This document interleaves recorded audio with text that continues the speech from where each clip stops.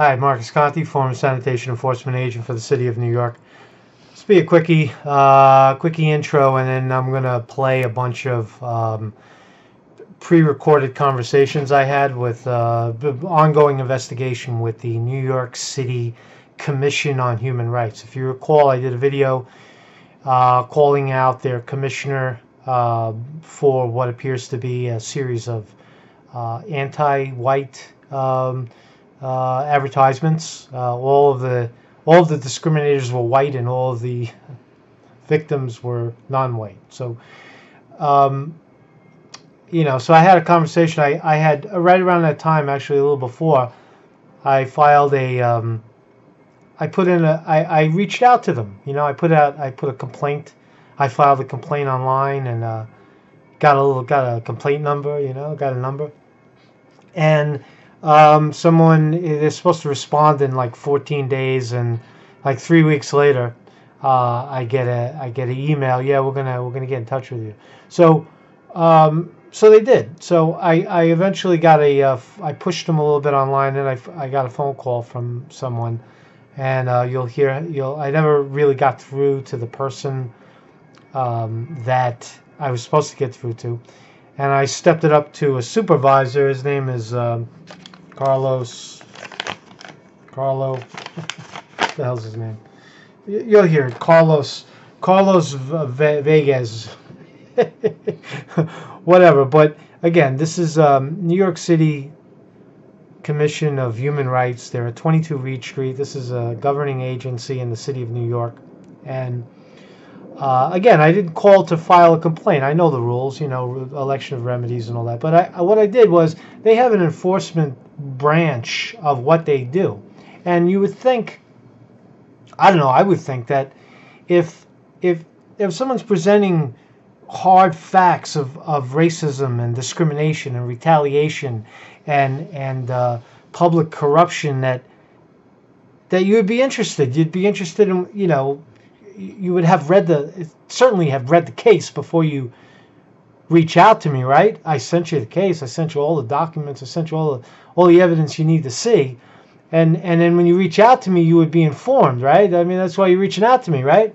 What are you reaching out to me? Tell me uh, we can't help you?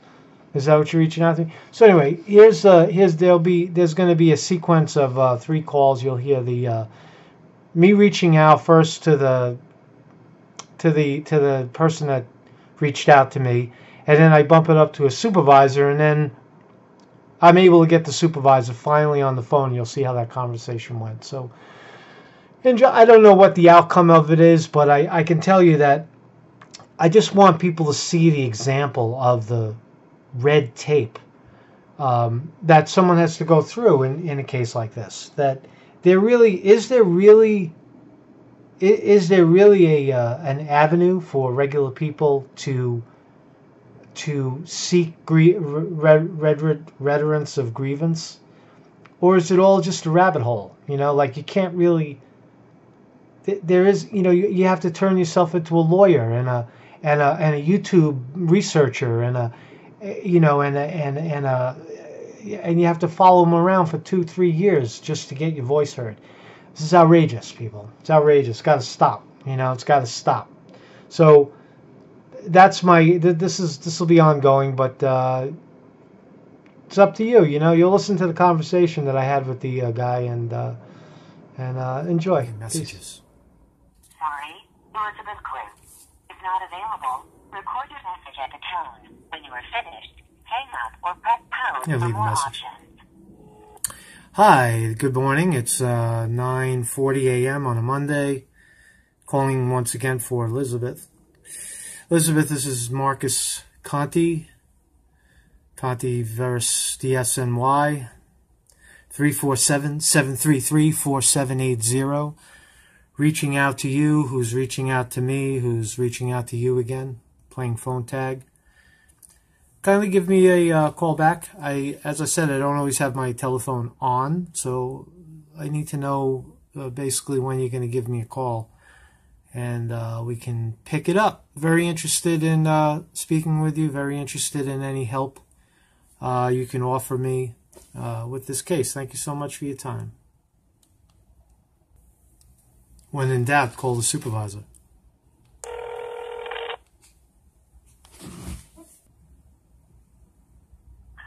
Hi, you've reached Carlos Sellers at the New York City Commission on Human Rights. I'm not available to answer the phone, but please leave your name and number, and I will call you back as soon as possible. Thank you. Record your message at the tone. When you are finished, hang up or press pound for more options. Hi, uh, message for uh, Carlo Velez. Uh, left several messages um, already for Elizabeth. Uh, I'm not getting her last name correct, but um, I, I, haven't gotten an answer. I haven't been able to connect with you guys at all. Been playing phone tag for and an email tag for like a month now, and uh, I really would appreciate a call back from uh, from your commission. Haven't heard from you. Right, pretty good, pretty good. Thank you. You said you're trying to reach Elizabeth. You didn't leave the last name. Uh, Elizabeth, I think it's it's hard to understand. Cleve or I don't know. The number is uh 04, 0245. I don't know. I don't know. Elizabeth Cleve. If you don't know, I don't know. They claim they said. Uh, there's nobody here by that name, so I don't know. So if you're telling me it's Elizabeth Cleve, there's nobody here by that name. Well, if you dial 416-0245, that's the person you get. I get panned to her uh, email uh, three times a day. So you dial it and you dial it and that's the name. so, so you have a case here with us? No, I, I don't have a case with you. I, I made a I filed a complaint and um, are you are you filed a complaint with New York's State Division of Human Rights? I lost in court, and I'm reaching okay. out to you guys. Are you are you an investigator or who are you? You're an, an attorney? attorney? You're an attorney. All right. So if you filed a complaint with the Division on Human Rights, you can't file it here, whether it was dismissed or resolved or whether you withdrew it. Okay, so so I'm making. here's why I'm reaching out to you. Okay, let, let me uh, see if you can help. Okay, I um, so I I file. So I work for the city, right? And then I yep. I, I, I got fired, right? you know, right. you know how that goes, right? And, and um, they claim that the uh, the fake write ups. They made a bunch of fake write ups, and uh, you know I I brought them down to Article brought a brought a good Article 78 case against them. First, I started at uh, New York State Division of Human Rights, and uh, you know, uh, an all uh, all African American people of color staff, and I'm you know over 50 white guy. They threw me under the bus, and couldn't couldn't get anything, couldn't get a a, a, a word in edgewise with the good old New York State Division of Human Rights, and took it down to Supreme Court. And uh, what happened? What do you think happened? They just went right along with New York State Division of Human Rights, right? So, so now we're over in uh, the first uh, Department Appellate Division and uh, getting a good old. Uh, Can I interrupt you, Mr. Conte? Because I, I could maybe short circuit this. Once you file a case with the Division on Human Rights, you can't file with us. And not only did you file a case, but if I'm understanding you correctly, they issued a final decision which you disagreed with and which you appealed. So my office cannot be of assistance to you with your case. So the law is called election of remedies. You chose to pursue your case in one form, i.e. the State Division on Human Rights, and they made a final decision. Right. So there's there is so so what you're saying is the the commission the New York City Commission on Human Rights is really just a it's just like a legal kind of commission. It's not actually where people can are discriminated against and walk in and yeah, you can, you can actually walk in if you've been right. discriminated. You got to make an appointment and make a claim. But if I understand you correctly, you made a complaint against your city employer, and you took that complaint to the state division on human rights. And the state division, right or wrong, I'm not making that assumption, you know, made a final determination. So since you chose the form you wanted to pursue your case in, we have no authority. Because the division, state division, the city commission, and the equal employment opportunity commission, we all do the same thing. You hmm. can't file the same case in three different forms.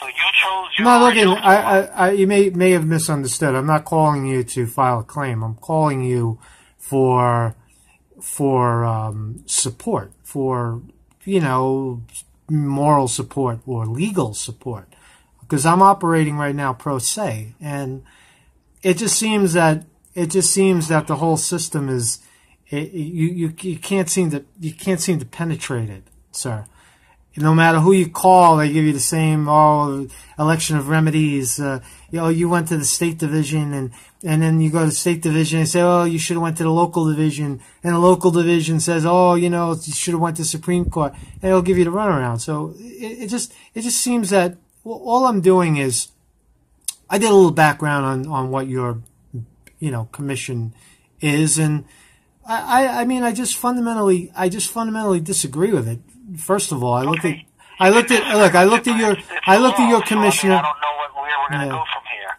I, I, don't either, but I, I looked at, you know, I, I looked at the, the view, and I think that, be honest with you, if I was, you know, a an African American person of color, uh, or some other some other variety of minority that you identify with, I think that this I think this conversation would go much differently. But under the circumstance, I disagree, 100%.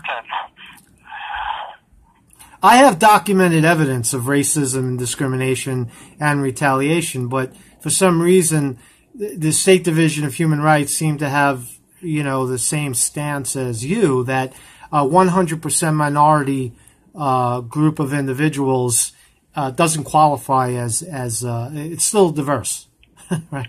Still diverse because it's all. We're going nowhere. I, I can't yeah. relitigate the case you already lost, and I, can't I give you the legal reasons why. Yeah, yeah, I, I appreciate your time. You, you're whatever. I mean, it's just, it's just, um, this is ongoing for me, ongoing investigation. I don't seem, it doesn't seem that that um, you know individuals can actually get through. You know, what, what, well, let me let me ask your opinion, okay? This is this is off. You know, I don't, I don't give opinions. I don't. I work for the city. My job is to investigate allegations of discrimination when they bring them here. Right, right, right. Even if, but but if, if the person elects the wrong remedy, you don't you don't get involved, right? No, I can't legally. Can't. Have it. What's your what's your your your name is Carlos Carlos Velez Velez? Velez, correct. Mr. Velez, thank you so much for your time. It was, a, it was a pleasure pleasure speaking with you.